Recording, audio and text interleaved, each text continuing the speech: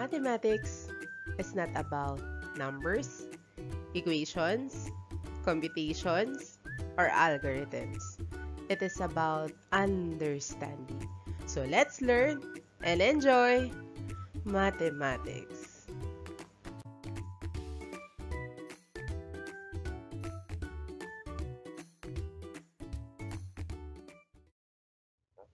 Our lesson, let us identify the x and y intercepts of polynomial functions. What could be our objectives? We will identify the x and y intercepts of the polynomial functions. So let us identify the difference between x-intercepts and y-intercepts. X-intercept, the points where a line crosses the x-axis. How about the y-intercepts? The y-intercepts the point where a line crosses the y-axis. So, what are the steps in finding the x-intercepts? First, find the zeros using synthetic division. Second, let y be equal to 0. How about in finding the y-intercepts? First step, let x be equal to 0. And then the second, let us simplify. So let us determine the x and y intercepts. Let us determine the x and y intercepts of y is equal to x cubed plus x squared minus 12x. So the common factor is x.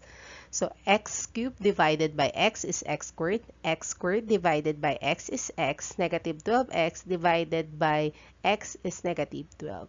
You need to think a factor that the product is negative 12 and then the sum should be positive 1x. What could be the factor? Correct. So that is 4 times negative 3. 4 times negative 3 is negative 12.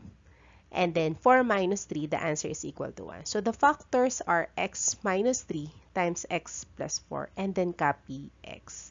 So using the zero product property, you need to replace the value of y by 0. So let us solve for x. x is equal to 0. Second one, x minus 3, replace y by 0, so x is equal to positive 3. Negative 3, change the sign, that is going to right, that is positive 3. And then the third one, x plus 4 is equal to 0. Solve for x, x is equal to negative 4. So, so the zeros are 0, 3, and negative 4.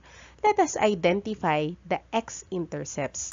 So the x-intercepts, ito yon 0, and then 3, negative 4. So, yun yung mga value ng zeros. 0, 3, and negative 4. How to get the x-intercept? The value of y of the x-intercept is equal to 0. Kaya 0, 0, 3, 0, and negative 4, 0. How about the y-intercepts? Let x is equal to 0. So, y is equal to x cubed plus x squared minus 12x dun sa first equation or sa given equation. So, kung in-replace natin yung value ni x by 0, magiging ganito. y is equal to 0 cubed plus 0 squared minus 12 times 0. So, it means the answer is equal to 0. 0 cubed is 0, 0 squared is 0 minus 0. So, it means the value of y is equal to 0. So, the y-intercept, 0, 0.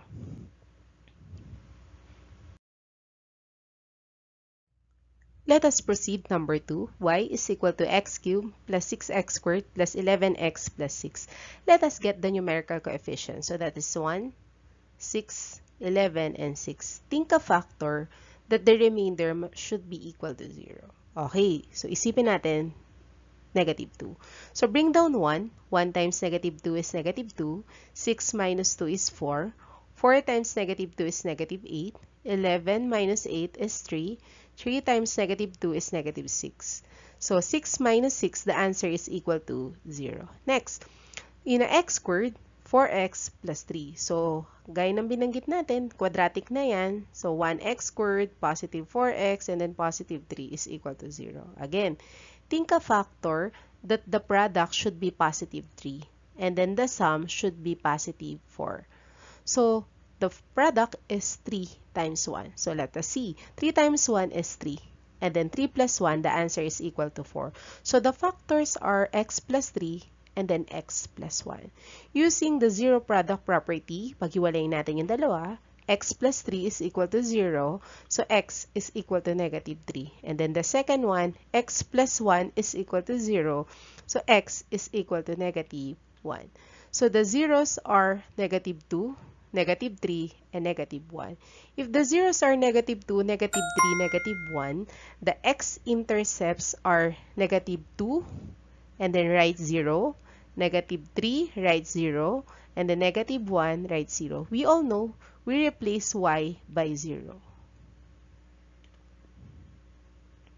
So let x is equal to 0 to solve for the y-intercepts. So i-replace natin siya sa given. So that becomes y is equal to 0 cubed plus 6 0 squared plus 11 times 0 minus 6. So it means lahat yan 0 na. So yung constant that is considered y is equal to negative 6. So the y-intercept 0 and negative 6.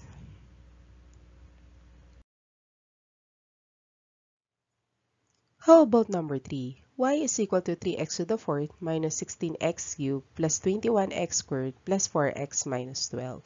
Let us get the numerical coefficient. So, nakaayos naman yan, okay na. So, 3, negative 16, 21, 4, and then negative 12.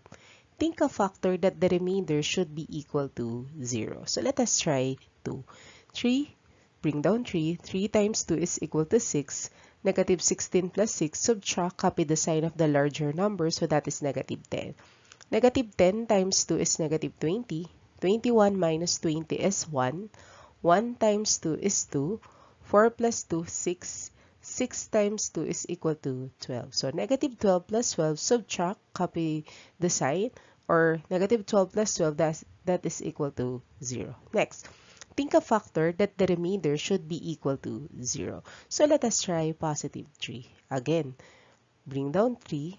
3 times 3 is equal to 9. Subtract. Copy the sign of the larger number, so that is negative 1. Negative 1 times 3 is negative 3. 1 minus 3 is negative 2. Negative 2 times 3 is equal to negative 6.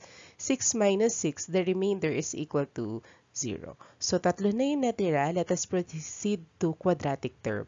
So, that is 3x squared minus x minus 2 is equal to 0. So, let us identify what could be the factor of 3x squared minus x minus 2. So, the product should be negative 6. How to get negative 6? That is 3 times negative 2. And then the sum should be negative 1. Think a factor that the product is negative 6 and the sum is negative 1. Okay, correct. So that is negative 3 times 2. Because negative 3 times 2 is negative 6. Negative 3 plus 2 is negative 1. So the factors are x minus 3 and then x plus 2. And then bakit may denominator? Because the value of a is equal to positive 3.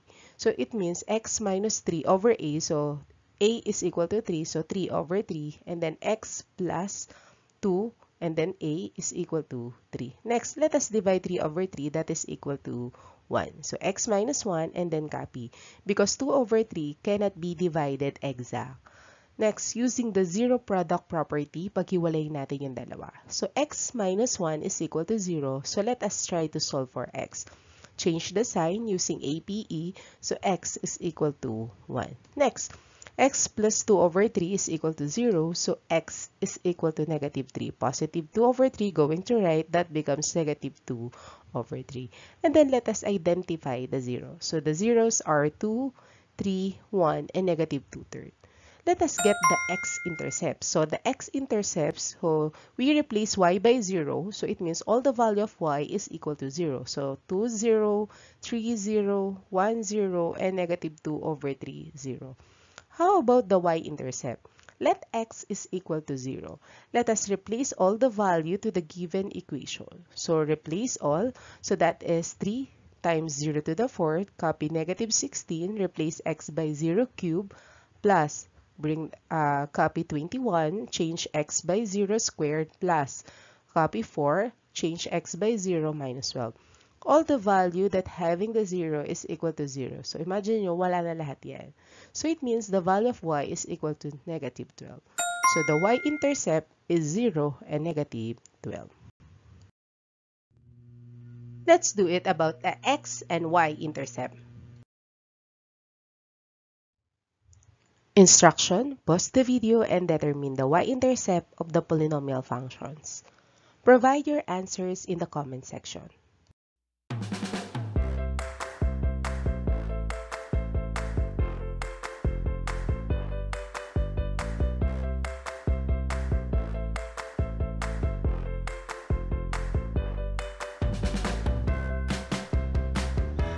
Enjoy learning mathematics.